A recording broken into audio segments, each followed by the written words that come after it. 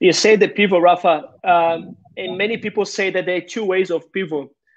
So you have the re- reference pivot, is that right? The reference pivot and the people that we say that it's the fake pivot moving. Yeah. Do you do you think that you must have a specific uh, attribute? Uh, do you, if you like, let's say, if you're a strong guy, you can play reference pivot. If you move more, you can play the fake pivot. Or do you think that even a short person can still play as a reference pivot? Andrea, I think it's possible.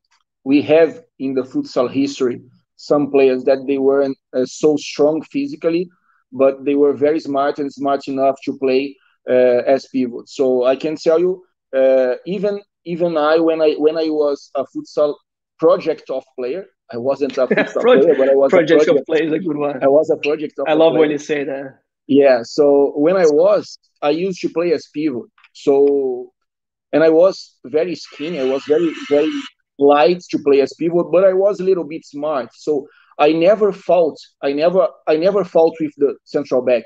I was always uh-huh. trying to to make him confused.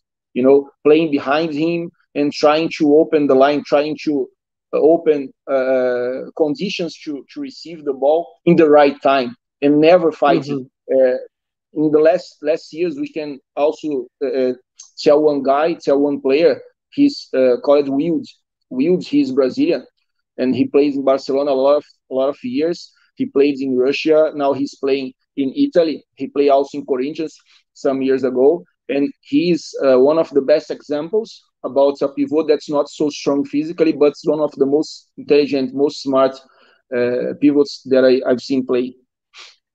Mm-hmm. Yeah, Wilde was a classic uh, fake people would say, right? Yeah, yeah, yeah.